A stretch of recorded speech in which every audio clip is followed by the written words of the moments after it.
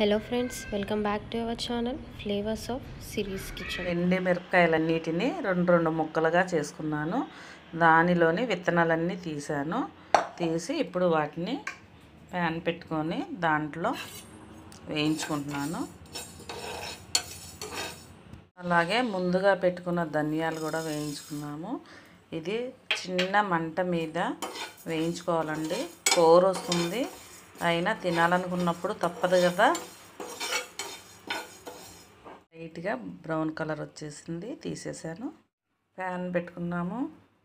ఒక పెద్ద table spoon oil వేసుకుందాము. దానిలో మనం విడిచిపెట్టుకున్న ఎండుమిరపకాయలు వేసుకున్నాము ముందుగా విడిచిపెట్టుకున్నాం కదా. వీటిని లైట్గా వేయించుకోవాలి. స్టవ్ ఆఫ్ చేశాను. ఇప్పుడు ఇది చల్లారేదాకా ఉందాము. ఇందాక కడిగి పెట్టుకున్నాం కదండి ఫ్రెష్గా కరివేపాకు అది వేసుకున్నాను అది కూడా తడిపోయే వరకు పొడి పొడిలాడేటట్టు వేయించుకున్నాము ఇలా పొడి పొడిలాడేటట్టుగా వేయించుకోవాలి కరివేపాకు. లాస్ట్లో కొద్దిగా ఒక చిన్న టీ స్పూన్ జీలకర్ర వేసుకున్నాము ఇది లాస్ట్లో పౌడర్ అంతా కొట్టిన తర్వాత కారపొడి లాస్ట్లో తినేసి ఒక తిప్పు తిప్పటం వల్ల మంచి స్మెల్ సువాసన వస్తుంది. ఇప్పుడు మిక్సీ జార్ తీసుకున్నాను. ముందుగా వేయించి పెట్టుకున్న మిరప విత్తనాలు అలాగే జీలకర్ర ధనియాలు అన్నీ ఇందులో వేసుకుంటున్నాను.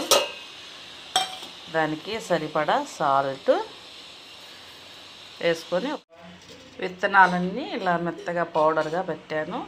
ఇప్పుడు దీనిలో వెండి మిరపకాయలు వేసుకున్నాను.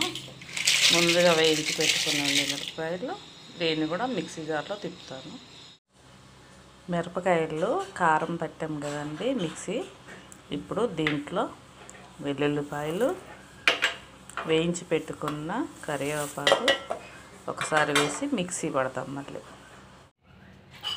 కరివేపాకు వెల్లుల్లిపాయలు పట్టుకున్నాం కదా ఇప్పుడు దాంట్లో సరిపడా చింతపండు కూడా వేసుకొని ఒకసారి మిక్సీ జారు తిప్పుదాం. చూడండి రోట్లో దంచుకునే విధంగానే వచ్చింది. దీన్ని కొంతమంది నల్లగారం అంటారు కొంతమంది మార్చిన కారం అంటారు. వేడివేడి అన్నంలో కొద్దిగా నెయ్యి వేసుకొని ఈ కారప్పుడు వేసుకొని తింటే ఎంతో టేస్టీగా ఉంటుంది. ఎంతో రుచికరమైన నల్లగారం రెడీ అయిపోయింది. ఇది వేడివేడి అన్నంలోకి ఇడ్లీలోకి దోశల్లోకి చాలా బాగుంటుంది. మీరు కూడా ఒకసారి ట్రై చేయండి. మీకు నచ్చినట్లయితే లైక్ చేయండి షేర్ చేయండి సబ్స్క్రైబ్ చేయండి. Thank you.